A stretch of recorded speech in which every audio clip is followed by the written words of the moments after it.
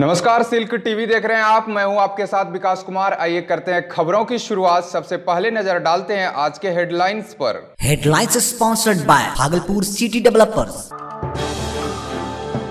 Bhagalpur से electric engine के साथ दो ट्रेन हुई रवाना। यात्रियों में दिखा खासा उत्साह।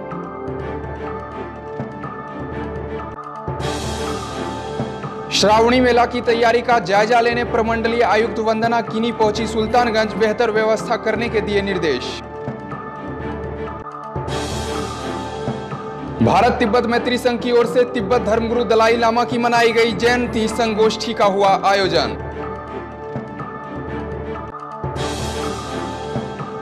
बांका में राजस्व मंत्री रामनारायण मंडल ने चलाया भाजपा सदस्यता अभियान संगठन को और मज़बूत करने की कही बात और तिलका मांझी भागलपुर विश्वविद्यालय में अर्थशास्त्र विभाग के केंद्रीय बजट पर सेमिनार का हुआ आयोजन। और अब खबरें विस्तार से। भागलपुर में विद्युतीकरण का कार्य संपन्न होने के बाद अब इलेक्ट्रिक इंजन के साथ ट्रेनों का परिचालन शुरू हो गया है। शनिवार को भागलपुर से दानापुर जाने वाली इंटरसिटी एक्सप्रेस एवं मुजफ्फरपुर जाने वाली जनसेवा एक्सप्रेस पहली बार भागलपुर से इलेक्ट्रिक इंजन के साथ रवाना हुई। ट्रेन के इलेक्ट्रिक इंजन से रवाना होने से पूर्व यात्रियों और रेल कर्मियों में खासा उत्साह देखा गया। रेलवे अधिकारियों के अनुसार इलेक्ट्रिक इंजन की उपलब्धता के अनुसार अन्य ट्रेनों में इलेक्ट्रिक इंजन लगाया जाएगा। इससे पूर्व भागलपुर से 3 जून को विक्रमशिला एक्सप्रेस को भागलपुर रेल पहली बार इलेक्ट्रिक इंजन के साथ रवाना किया था। स्टेशन अधीक्षक समर कुमार सिंह ने कहा कि यात्रियों की सुविधा के लिए रेलवे कई कदम उठा रही है। आगामी 17 जुलाई से शुरू होने वाले विश्व प्रसिद्ध श्रावणी मेला को लेकर भागलपुर प्रमंडलीय आयुक्त वंदना किनी, जिलाधिकारी प्रणब कुमार, अपर समाहर्ता राजेश झराजा, सदर एसडीओ आशीष नारायण सहित ज़िले के कई वरीय अधिकारी ने मेला क्षेत्र का निरीक्षण कर तैयारी का जायजा लिया। आयुक्त ने उद्घाटन मंच, नियंत्रण कक्ष, सीढ़ी घाट, अजगैबीनाथ मंदिर, गंगा घाट की तैयारी का जायजा लेते हुए कई दिशा निर्देश दिए। आयुक्त ने अधिकारियों को निर्देश देते हुए कहा कि कांवरियों की सुरक्षा व सुविधा, बिजली, पानी, शौचालय सहित गंगा घाट पर स्नान करने के दौरान सुरक्षा का इंतज़ाम बेहतर तरीके से करने का निर्देश दिया। गंगा घाट में बाँस बैरिकेडिंग मजबूती के साथ करने का निर्देश देते हुए कहा कि सभी इंतज़ाम सुनिश्चित करें ताकि दूर दराज से आए हुए श्रद्धालुओं को किसी तरह की परेशानी न हो। इस दौरान वीडियो प्रभात रंजन, सीओ शशिकांत कुमार सहित कई पदाधिकारी मौजूद थे। तिब्बत के महान धर्म गुरु दलाई लामा के जन्म दिवस के अवसर पर शनिवार को भागलपुर के गांधी शांति प्रतिष्ठान केंद्र में भारत तिब्बत मैत्री संघ द्वारा समारोह का आयोजन किया गया। जन्मदिन समारोह में संघ की प्रांतीय उपाध्यक्ष उमा घोष एवं बच्चियों ने केक काटकर सबों को दलाई लामा के जन्म दिवस की शुभकामना दी।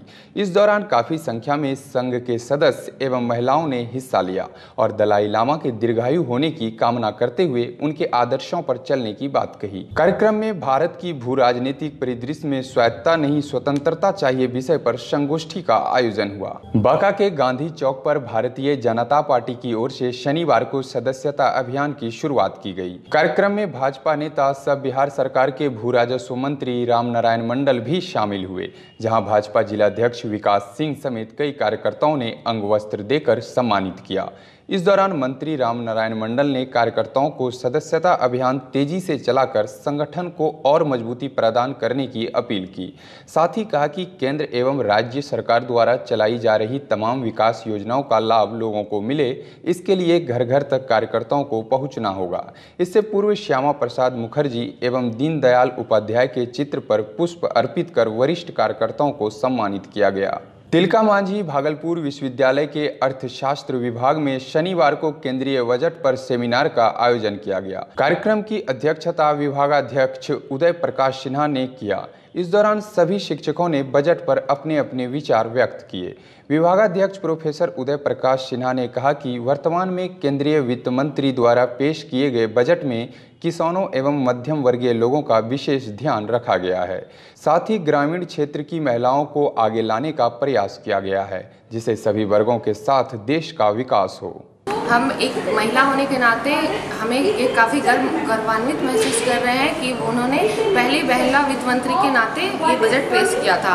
खास करके महिलाओं के, महिलाओं की भागीदारी के लिए उन्होंने बहुत सारी बातें कही और ग्रामीण महिला जो कि काफ़ी पिछड़ी हुई है, उन पर उन्होंने बहुत ध्यान दिया था।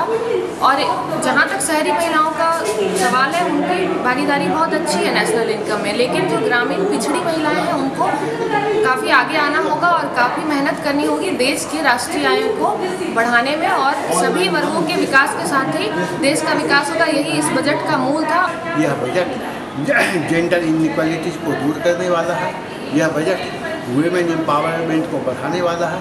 यह बजट किसानों का बजट है, किसानों के उत्थान का बजट है और निश्चित रूप से मिडिल क्लास को देखने में लगता है कि बहुत फ़ायदा नहीं है। लेकिन आज हम विश्व के छठी अर्थव्यवस्था में पहुँच गए हैं और इस कारण वह पाँच ट्रिलियन डॉलर जो हमारा अचीवमेंट है, हम लोग जो टारगेट रखे हैं, उसको पूरा करने के लिए जिलाधिकारी प्रणव कुमार के निर्देश पर शनिवार को कोटपा कानून के तहत तंबाकू उत्पाद बेचने वाले नाबालिग के खिलाफ अभियान चलाया गया।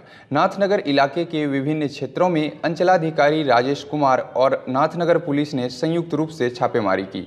छापेमारी के दौरान दो नाबालिगों को तंबाकू उत्पाद बेचते हुए पकड़े जाने के बाद जुर्माना वसूली की गई। साथ ही आगे से तंबाकू उत्पाद नहीं बेचने की चेतावनी दी गई। जिला अधिकारी के निर्देश पर कोटपा कानून के तहत ऐसे दुकानदार जो नाबालिग हैं और उनके द्वारा तम्बाकू या सिगरेट बेचा जा रहा है ऐसे दुकानदारों पर कार्रवाई करने का सख्त निर्देश है। इसी इसी दिशा क्रम में दो दुकानदारों के ऊपर कार्रवाई की गई है, जिसपे फाइन भी लिया गया है और उसके सख्त निर्देश दिया गया है कि दोबारा वो नहीं बेच। रुकते हैं एक छोटे से ब्रेक के लिए, आप बने रहिए सिल्क टीवी के साथ।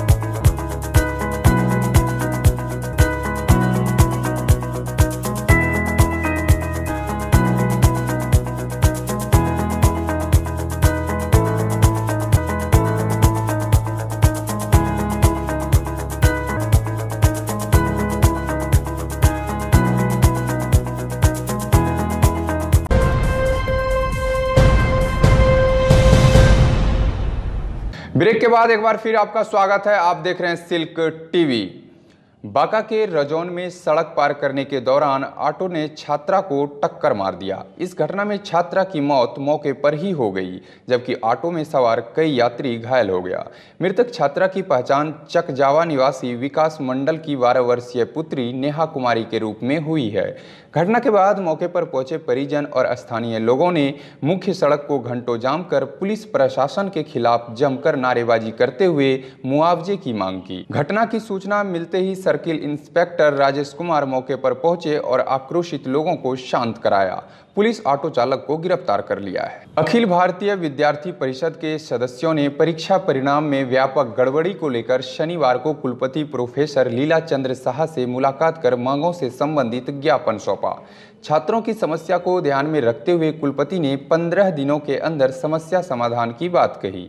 प्रदेश कार्य समिति सदस्य कुणाल पांडे ने कहा कि कई वर्षों से बीसीए के रिज़ल्ट में गड़बड़ी होती रही है, लेकिन विश्वविद्यालय प्रशासन ने कभी इस पर ध्यान नहीं दिया।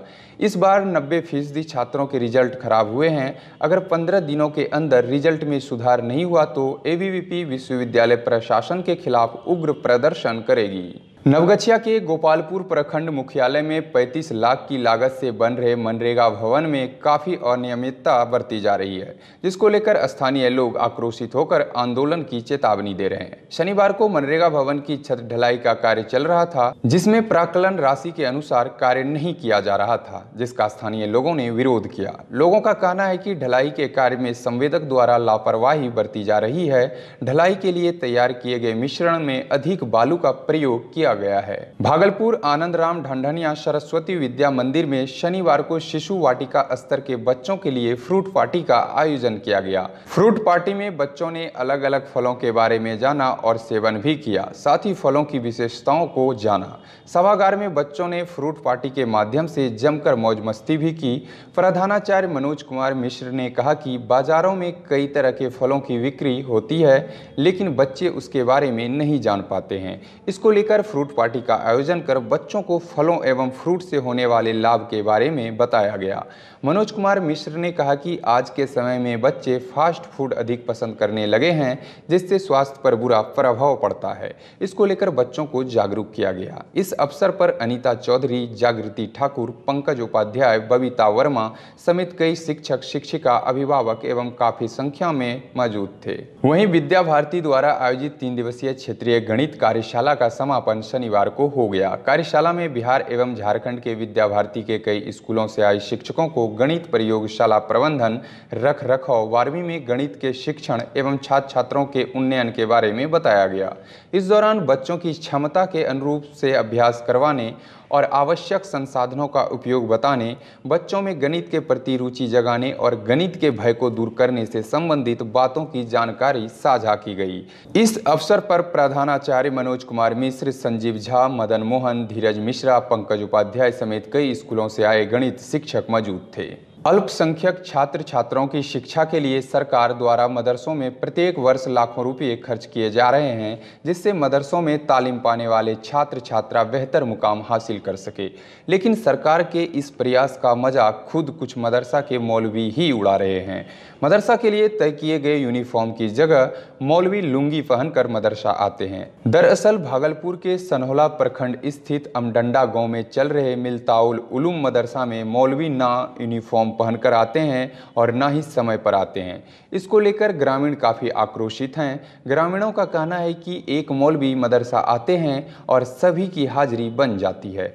मदरसा में कुल 11 मौलवी कार्यरत हैं। मिड डे मील भी मेन्यू के अनुसार नहीं दिया जाता है, जिससे कि बच्चे कुपोषण के शिकार हो रहे हैं। ग्रामीणों ने कहा कि व्यवस्था और मौलवी की मनमानी की शिकायत कई बार हेड मौलवी से की गई, लेकिन कोई सुधार नहीं हुआ। फ़िलहाल मदरसा में 230 छात्र छात्राओं का नामांकन है, जबकि मदरसा आने वाले छात्रों की संख्या महज साठ है।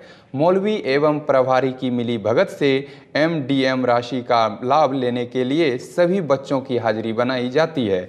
मदरसा के अध्यक्ष उमर फारूक ने कहा कि मौलवी और प्रभारी की शिकायत जिला शिक्षा पदाधिकारी एवं जिलाधिकारी से की गई है।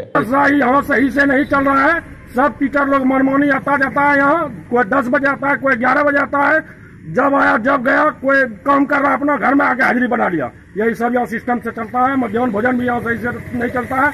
मेन्यू के हिसाब से खाना नहीं बनता है और बच्चे को डरा के रखता है कि जो आएगा पूछने के लिए बोलना कि सब चीज़ ठीक चल रहा है। अगर यकीन नहीं है तो गार्जियन से जाके पूछिए आप। बांका कटोरिया मुख्य मार्ग पर कार और टाटा मैजिक के बीच सीधी टक्कर में मैजिक सवार पाँच श्रद्धालु घायल हो गया, जिसे स्थानीय लोगों की मदद से इलाज के लिए अस्पताल में भर्ती कराया गया। घटना को लेकर बताया जा रहा है कि भागलपुर के गोराडी थाना क्षेत्र के सियारगढ़ निवासी गौतम शर्मा अपने परिवार के साथ पूजा करने देवघर जा रहा था। इस दौरान तुलसी वरण मोड़ के समीप देवघर की ओर से आ रही कार ने टाटा मैजिक में टक्कर मार दिया और अंत में चलते चलते एक बार फिर नज़र डालते हैं आज के हेडलाइंस पर। Headlines sponsored by Bhagalpur city developers Bhagalpur से इलेक्ट्रिक इंजन के साथ दो ट्रेन हुई रवाना यात्रियों में दिखा खासा उत्साह।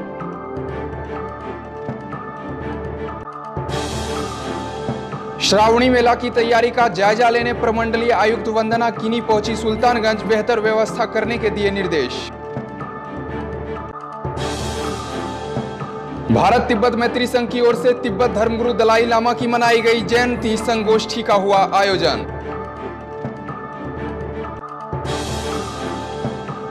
बांका में राजस्व मंत्री रामनारायण मंडल ने चलाया भाजपा सदस्यता अभियान संगठन को और मज़बूत करने की कही बात। और तिलका मांझी भागलपुर विश्वविद्यालय में अर्थशास्त्र विभाग के केंद्रीय बजट पर सेमिनार का हुआ आयोजन। फ़िलहाल इस बुलेटिन में इतना ही। आप बने रहिए सिल्क टीवी के साथ, तब तक के लिए नमस्कार।